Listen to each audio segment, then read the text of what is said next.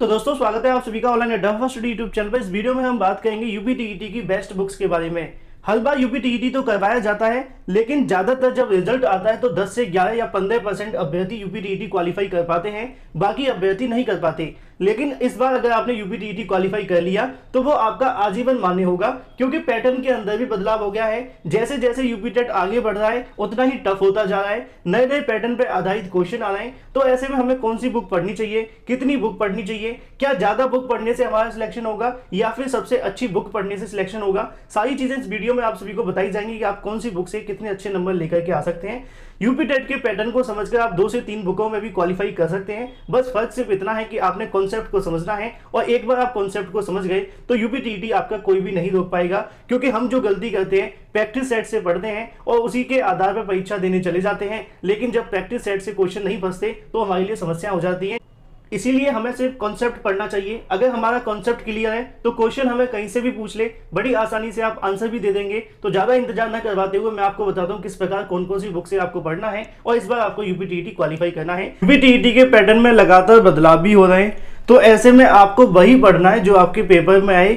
तो पेपर में आने के लिए आप सीधा प्रैक्टिस सेट से कवर करेंगे तो दिक्कतें होंगी। इसलिए आप सभी पहले गाइड से पढ़ें। जैसा कि आप देख पाए यूपी टी टी के लिए बेस्ट गाइड आपके सामने है, जिसमें आपके सब्जेक्ट वाइज जो क्वेश्चन है वो रखे गए हैं, जिससे कि आपको नए पैटर्न और साथ में पुराने पैटर्न के बारे में पता चलता है।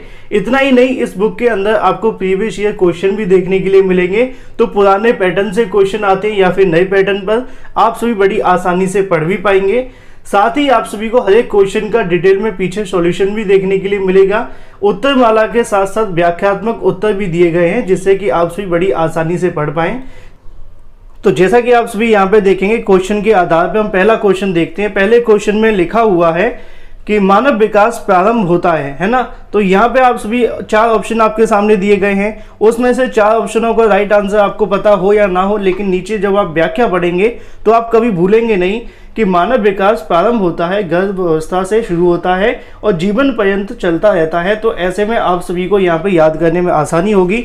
कुछ ऐसा ही बुक के अंदर आपको आगे भी देखने के लिए मिलेगा। सभी क्वेश्चन का डिटेल में सॉल्यूशन होगा, चाहे वो मैथ के हो या फिर अलग अलग सब्जेक्ट के।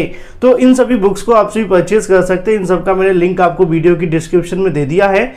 चैप्टर वाइज आपको पूरी गाइड देखने के लिए मिलेगी। अगर आप इस गाइड को सॉल्व कर लेते हैं तो उसके बाद आपको कुछ भी पढ़ने की आवश्यकता बिल्कुल नहीं पड़ने वाली है, क्योंकि इसमें सब कुछ आप सभी को भर भर के दिया हुआ है, आपके पैटर्न और आपके एग्ज़ाम के अकॉर्डिंग जिसके में आपको किसी प्रकार की कोई भी थ्योरी पढ़ने की आवश्यकता नहीं पड़ने वाली है, क्योंकि अभी आपके पास काफ़ी अच्छा समय भी है और अपनी प्रिपरेशन भी आप अच्छी कर सकते हैं। तो इस गाइड को तो आप सभी परचेज कर ही सकते हैं। साथ में इसके पीछे क्वेश्चन भी दिए गए हैं, जिसके थ्रू आप सभी यहाँ पर प्रैक्टिस भी कर पाएँगे। पाएँगे लेकिन इसके अलावा भी आपको एक प्रैक्टिस सेट देखने के लिए मिलेगा, जिसको भी आप ले सकते हैं।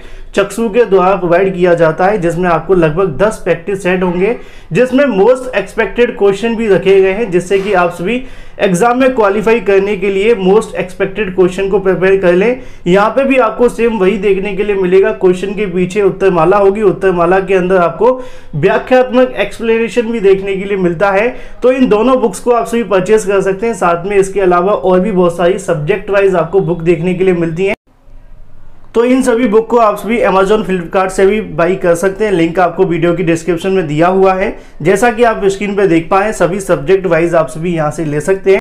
इन सभी बुक को आप ऑफलाइन मार्केट से भी ले सकते हैं। किसी भी बुक सेलर के पास जाकर सभी के पास आपको ये बुक्स अवेलेबल होंगी सभी सब्जेक्ट में। तो जाइए अभी परचेज करिए।